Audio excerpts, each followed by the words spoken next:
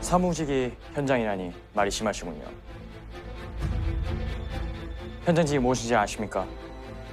사무실 그 끄적임 몇 번으로 쉽게 쉽게 해결되는 구조조정 최우선위에서 일하는 게 현장직 노동자입니다.